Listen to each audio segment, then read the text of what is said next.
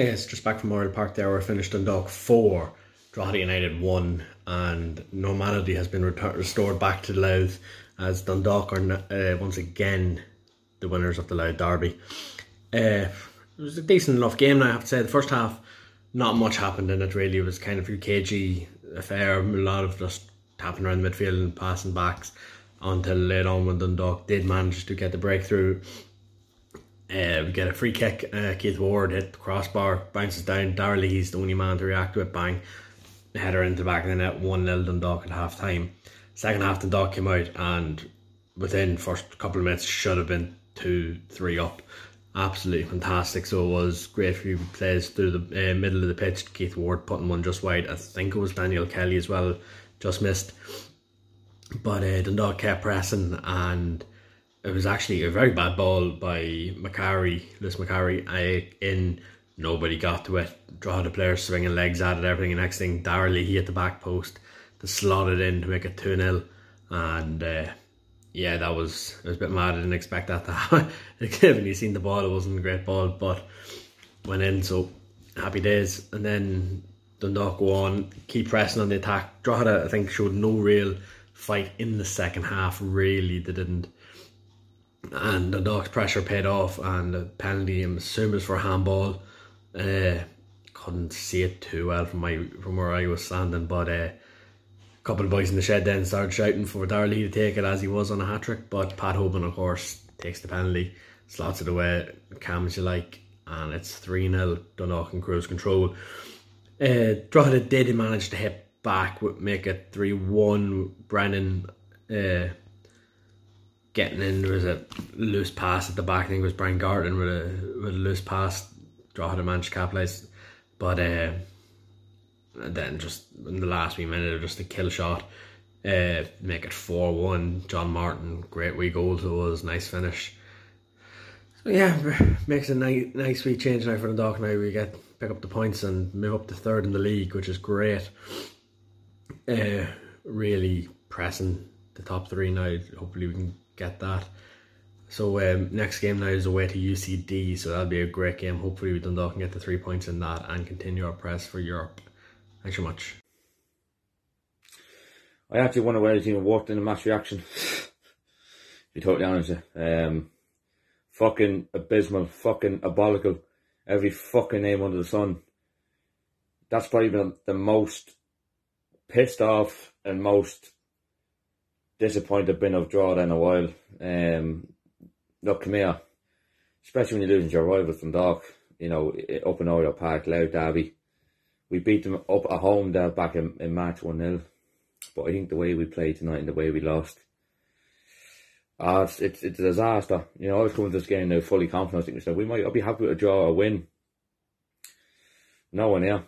It's an absolute joke. The four goals we scored, the four goals we, con- we conceded, were just terrible. You know, Darragh Leahy, the left back, scores twice.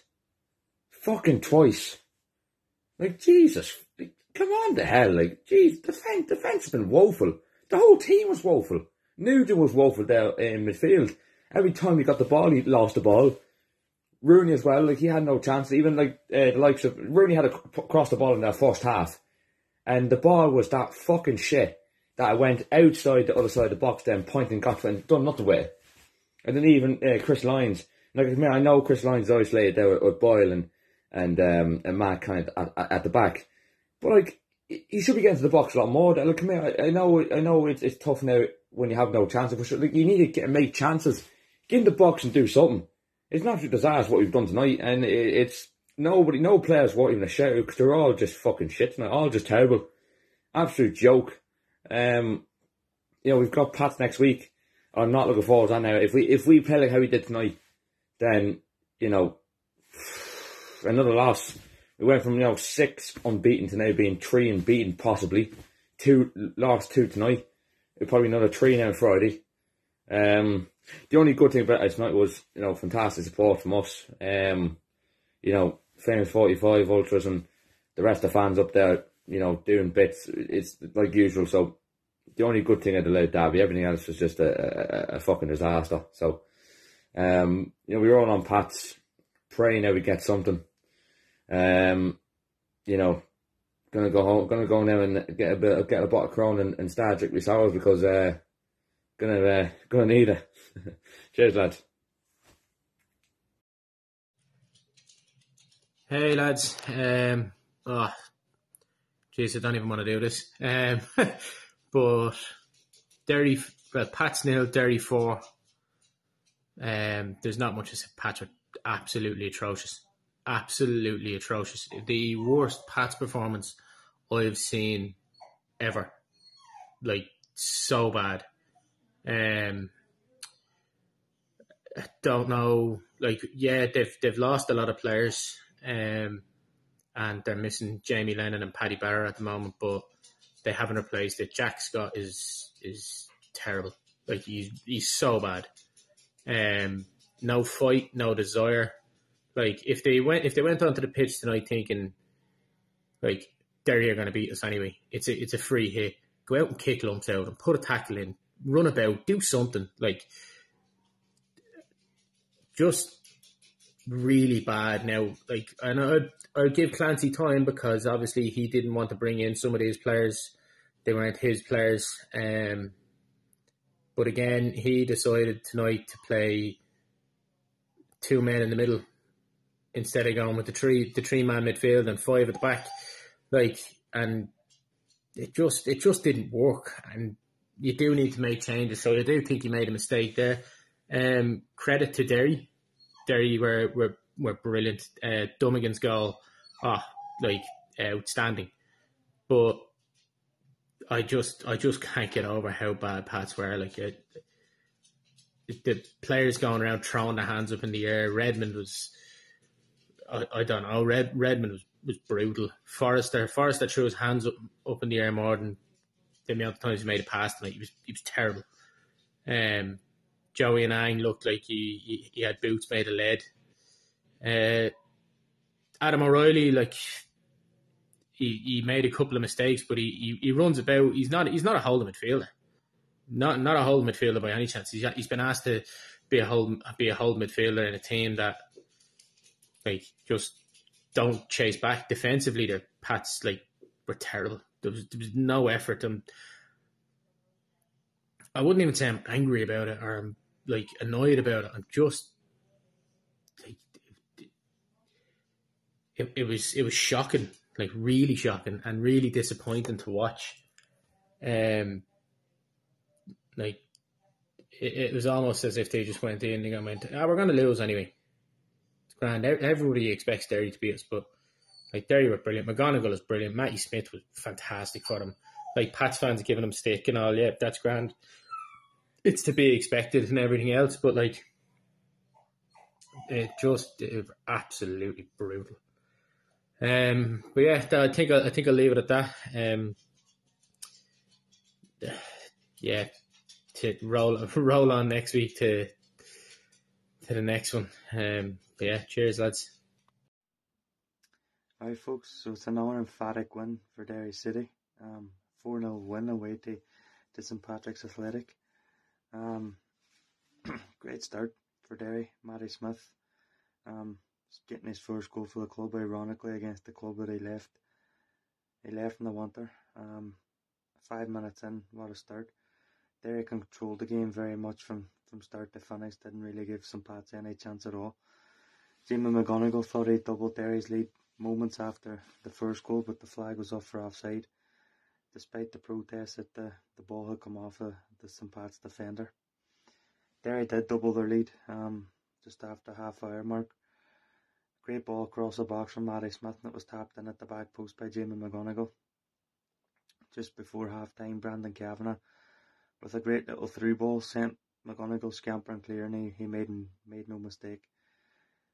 Derry were, were ruthless in the first half. The second half was pretty much they controlled the game and on the hour mark Cameron Dummigan bagged his second goal for the club with a, a 25 yarder which curled in off the the post with Joseph, Joseph Anang having no chance.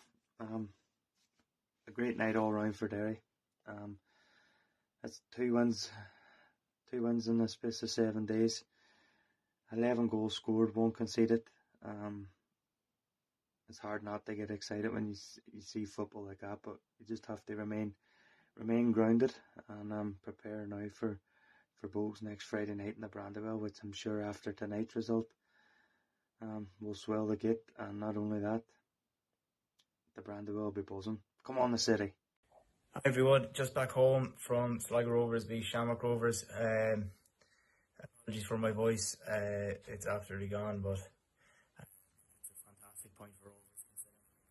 Down, uh, great response in the second half. Um, thought we started off well, especially in the first half, first ten minutes. I thought we dominated the ball quite well, but uh, look, once Shams get a foothold of the game, it's very difficult to get into it. And look, they got a deserved goal. Andy Lyons again with another goal for him. He's been for him, but it's disappointing for us. It was a very good header, and um, we struggled really in the in the first half after that goal to really get into the game. We couldn't get a foothold into the game at all. I thought we played quite well. Started putting the ball on the ground, knocking it around. I thought Colin Morgan in midfield had a very very good game tonight. I think he got man of the match. Uh, Bolger and McDonald put on a very good shift as well. Hamilton uh, took a very uh, had a very well taken goal, and McGinty as well. Just saving us time and time again. Um, run out of words to describe how good he is. He's just absolutely phenomenal. Um, Gary Buckley, absolutely immense tonight. Some of the challenges he put in were absolutely superb. Look, he got sent and he got sent off, but I think that last challenge was the challenge that he had to make. Um, Aaron Greene was going to be in otherwise, so I think it was a, a challenge that probably look he he got the second yellow for it, but it didn't make that challenge. We would have went two one down, and look, it'll be disappointing now to have him gone. But I thought Blaney and um, Blaney and Nando Pijnaker are very good at centre half as well. Good partnership for him in there as well, which is great to see. Um, yeah, look, overall delighted with the point. If you told me at the start of the game that it was going to end one one, I would have snapped your hand off. Uh, look, Shamrock Rovers are in great form at the moment. Uh, no denying that they're a great team. Uh, all over the park, they've some fantastic players. Uh, but I thought we held ourselves quite well. Uh, Keena struggled to get into the game a wee bit, a couple of chances in the first half. Um, Hamilton very well taken goal. I thought it, had a superb shift uh, tonight as well. Uh, also, big shout out to Killian Heaney. Uh, young fella came on 60 minutes. Uh, he held his own really, really well. Took the ball then very, very well to play off the collie for our, for our first goal. Um, so yeah, credit to him. He was absolutely fantastic. Uh, yeah, good point. Three games now unbeaten. Bad form seems to be out of the way, thank God. Uh, yeah, we've moved forward. Hi Keith, uh, just a review on our 4-1 win against Longford tonight in the cross. Um, quite a strange result considering the game, the way the game was. Um, City were awful in the first half, like couldn't string two passes together, very sloppy on the ball, second to a lot of ball, um, a lot of players anonymous. Um, in the first half, kept making mistakes, kept giving the ball away, and deservedly went 1 0 down. Um, I think huge loss to Longford was, I think his name is Darren Craven, if I have the right name. Um, he went off. He kind of had an early clash in knees, and it looked like he knocked his kneecap out because he was in, he was going to twist and turn, and but then he went down about ten or fifteen minutes after that. Um, so he was a huge loss when he went off, to be fair to him. And what Longford were very good at doing was, like City kind of, Longford didn't have much of the ball, but when they had the ball, they used it very well. Eh, if that's probably the right way to put it, or it could be the wrong way, really. But City were just, they were like, as much as they had the ball, they done absolutely nothing with it. Um, and then, like, uh, what you call it for Longford there. I think his name is Ryan Graydon, but he had Donnelly on the back of his jersey. He was wearing number seven, playing on the right wing there for, for Longford. He caused Jonas in a lot of trouble.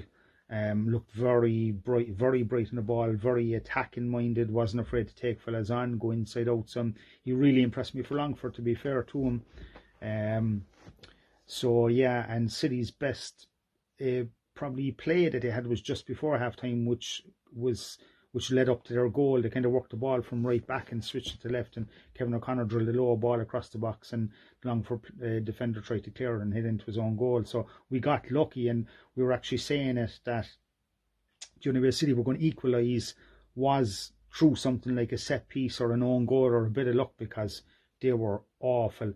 And I'd say, well, I know because I was talking to Colin Healy after the game, but um, like he said it, like you know, they were so bad in the first half, things couldn't get any worse, and they knew they had to improve. And I'd say there was a couple of couple of fucks thrown in there at half time, I'd say, no doubt about it.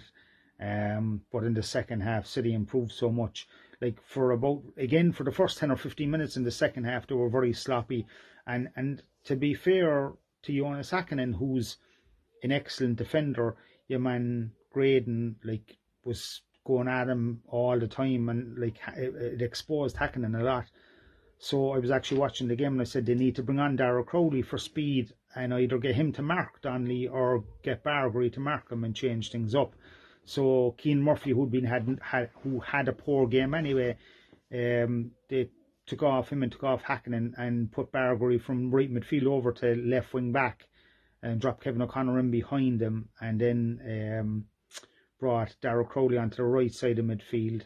Um, and it changed like that that those two changes changed the game literally because Longford in that sense City were very pedestrian with the ball and Longford had a bit of pace about them and that changed it um, and Barry Coffey who had up to that was very poor looked like was done nothing. He was anonymous in the game, ended up popping up with two goals and two good finishes, to be fair to him. Um, and Daryl Crowley then added a fourth in the second half, probably with about 15 minutes to go, maybe around that. And very unfortunate for Longford because Longford were, you know, they were as good or if not better than City. Um, but it just as when when the third goal went in, Longford just oh, the the heads dropped, which can naturally happen too. So to be fair, it wasn't a 4-1 game. I'm delighted it was 4-1. Um, it was great to keep up the result, and what it did was showed a bit of resolute with the, the team as well. That when their back is against the wall, that they can come away and uh, pick up the three points. That was the most important thing. So we look forward to Treaty in the cross on Monday at five o'clock. Um, hopefully we'll continue to run and just try and stay uh, on top of things with the league because obviously with Galway and Treaty and Longford and, and, and that and they're just and Waterford they're just you know they're just behind us. And um, it's a very tight league. It's a great league. And hopefully we'll keep up the the, the good run of form. Uh, thanks Keith. Thank you. Hey guys, uh, full time in the Carlisle Grounds and another home game. Jeez. Someone in front of me has their brake lights on. Uh, thanks. Um, full time again. Bray Wanderers without a home win this season. Uh, so finished one all um, against Cobh. A game that probably a fair result would have been the draw that uh, it turned out to be. Um, Drynan for Cobh and Curtis Bourne for Bray. Uh, Drynan scored for Cobh just after uh, Whitmarsh missed a penalty, or I should say, Mike Kelly saved a penalty straight down the middle, and uh, Kelly, um, brave and, bravely enough, uh, stood stood his ground and uh, parried the ball over. Um, and then literally 30 seconds later, Drynan had the ball in the net, so it was 1 0 the Cobh.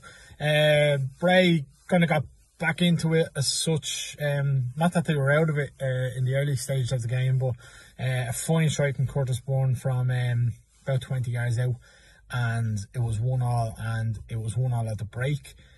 Uh, second half was kind of it was to and fro. There was uh, there was there was chances and both teams probably should have taken the chances that they had. Cobh broke a few times as Bray were trying to uh, grab the winner, and uh, Marty Waters probably could have should have scored uh, late on the game. Um, I think it was a knockback from Feeney, and uh, Marty really just had to place the ball into the corner of the net, and uh, unfortunately uh, he put it wide, and um, that was the game up really. Um, again, as I say, it's disappointing that it's disappointing that we haven't won at home. Um, another draw, and Bray now Bray sits seventh in the league. Uh, Cobh sit eighth, I think. I think I'm saying that right. Um, Bray going to Wexford next week and uh, next Monday, and um, they've been better on the road. Um, they have been better on the road, although the last couple of results haven't been great. But uh, um, Wexford winning three 0 tonight, you know, they'll be they'll be more than uh, up for this game um, against Bray. So, you know, I don't know what I don't know what uh, the management team are hoping for this season, or they just is it just a betting in season or not, or where do we go? Um, it's it's disappointing again that we've we failed to win at home, and uh, um, in fairness, we created more chances this week than we have uh, in any other game. So, um, we'll see where Monday takes us, and um, I must say, and uh, just to go, go along with what Keith said, uh, I'm doing this in my car, and uh, if anyone wants to sponsor um, anyone doing the vlogs or the match reactions for uh, supporters of teams, um, just hit us up and uh, we can get electric cars and uh, we can all drive the cars in electric cars and save the environment. But unfortunately, if you don't have a public transport system that is uh, that is that is going every uh, half hour or 15 minutes, unfortunately you have to drive the games and that's it. Bray one, Cobh one. Take care guys. So, the aftermath, the morning after, Harps uh, 1 0 victory over Shels in Finn Park. Um, it's Harp's second win in 13 matches. Isn't very good now. 10 points with 13. Um, but the two wins have come against Shels. So, uh, I'm sure Damien Duff is not happy that there. Uh, Harp seem to be the, the Shels bogey team of the, of the season so far. Um, but yeah, no, overall kind of scrappy match. Not very entertaining to watch. It wasn't really a good watch, to be quite honest. Um, half time, you know, there's a few chances in the first half. Um, Harps kind of had a, had a good few chances, but no kind of kind of clinical edge, and no one really could put the ball anywhere near the net. It was going out, you know, for like a goal kick and so on. Like, but both time or both both sides, you know, but um, both keepers really had nothing to do the whole match. Um, but yeah, uh, second or first half, like you, think going into the break, you know, it's going to be a mistake. It's going to decide this match. And to be honest, Harps came out the second half, the much better team, and yeah, they basically had the play. Although Shels did have a few chances, they had a chance clear off the line by Conor Tourish. Um, so yeah, you know, Harps kind of did push, and they had that goal disallowed for a, a handball. Apparently, I, it happened in front of me. I didn't see any handball. I think there a lot of stuff goes on in the league It was where the opposition players are, are you know chanting, they're always shouting away at the ref and they're saying, "Oh, no, this happened, this happened." The referee just tends to go at them. But anyway, Harps got the goal anyway. Uh, 88th minute, uh, corner, and uh, ball broke the edge of the box. Luke Rudden dummied it, and Barry McNamee stuck it in the net. Uh, sent the the fan Harps faithful go, going mental, uh, which is great. So yeah, now we're we're off the mark at home uh, for the season, first home win of the season, and we move on to Shamrock Rovers next week with big matches coming up against UCD and Drogheda. So yeah, overall fairly happy, and yeah, roll on the. Uh, the next few matches, Shamrock Rovers next week will not be any easier, but um, yeah, I'm sure Damien Duff is is fairly is fairly licking his wounds today and right he is. Um, but yeah, we move on, and uh, yeah, up Harps.